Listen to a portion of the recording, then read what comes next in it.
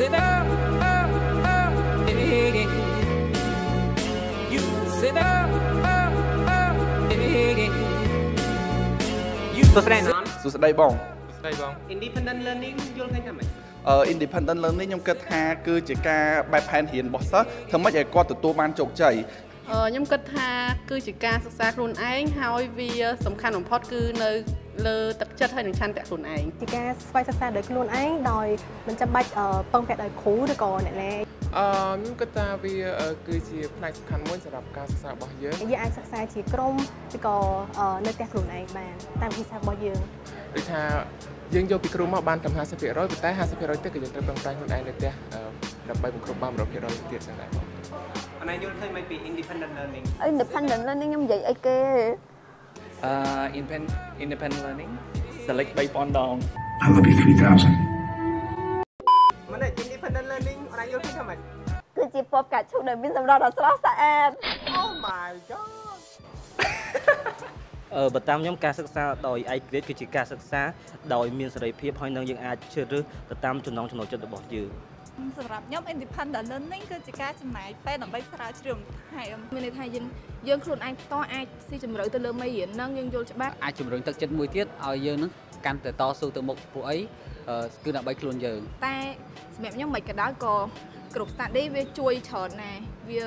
បំពេញគ្នាទៅវិញទៅមកយើងមានសមត្ថភាពក្នុងការរៀនមេរៀនហ្នឹងដោយខ្លួនឯងហើយឲ្យរៀនអ្វីដែលយើងចង់រៀនហើយអ្វីដែលយើងចូលចិត្តសប្បាយនឹងរៀន អឺបើតាមខ្ញុំការរៀនឲ្យខ្លួនឯងវាល្អដូចថាយើងបានអឺមានពេលវេលាស្រាវជ្រាវអឺមេរៀនខ្លួនឯងហើយតបមកយើងអឺយើងរៀនខ្លួនដោយខ្លួនឯងមុនសិនបានយើងអឺទៅរៀនក្រុមបន្តទៀតជាមួយឲ្យយើងសិក្សាមានភាពងាយស្ងៀមស្ងាត់ក្នុងការមើលសភៅក្នុងការសិក្សាផ្សេងផ្សេងៗហើយក៏ដូចជាមាន ភាពឯករាជ្យក្នុងការមើលសភៅដោយមិនមានការរំខានពីអ្នកដទៃវាគឺជាការស្វ័យសិក្សាចំពោះអើយមនុស្សគ្រប់គ្នាដែលអាចរៀនបាននៅគ្រប់ទីកន្លែងគ្រប់ពេលវេលាសំខាន់ស្មារតីខ្លួនឯងថាអឺយើងនឹងអាចអើយរៀនបានអត់យើងអាចដែលមិនចាំបាច់ខ្វល់ពីបរិយាកាសនៅជុំវិញណាយើងអាចមានអារម្មណ៍រៀនខ្លួនឯងបាន មានន័យថាម៉េចអូនគឺជាការទទួលខុសត្រូវចំពោះជោគជ័យរបស់ខ្លួនឯងគិតថាការសិក្សាបែបឯករាជ្យគឺជាការសិក្សាមួយដែលមានការដំណងទីពីលោកគ្រូ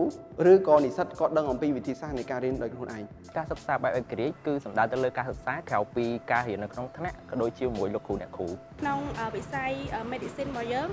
អឺយើងទៀមទាឲ្យយើងសិក្សាពេញមួយជីវិតរហូតបានន័យថាយើងត្រូវអាប់ដេតចំណេះដឹងយើងពីមួយឆ្នាំទៅមួយឆ្នាំដើម្បីដើរតាមសម័យកាលអញ្ចឹងណាតបទៀតអាហ្នឹងហើយអា independent learning វាជួយយើងក្រោយពីយើងបញ្ចប់ការសិក្សានៅសាលាអរគុណយើងដឹងហើយថាវិទ្យាសាស្ត្រកំបាននឹងកំពុងធ្វើការវិវត្តទៅមុខឥតឈប់ឈរ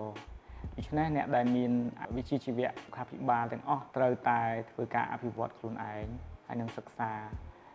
រៀនសូត្រអស់មួយជីវិតដែលហៅថា lifelong learning យោងតាមឯកសារស្តីអំពីការសិក្សារបស់និស្សិតដើម្បីជោគជ័យគឺនិស្សិតអាចសិក្សាជាមួយគ្រូចំនួន35%តែប៉ុណ្ណោះ 65%ផ្សេងទៀតគឺនិស្សិតត្រូវធ្វើការសិក្សាដោយខ្លួនឯងបាទដូច្នេះការបណ្ដុះនៅវប្បធម៌នៃការសិក្សាបែបឯករាជ្យអឺក្នុងចំណោមនិស្សិតសវសរបស់យើង គឺជាកត្តាគន្លឹះសម្រាប់ឈានទៅរកការសិក្សាមួយប្រកបដោយជោគជ័យ thank you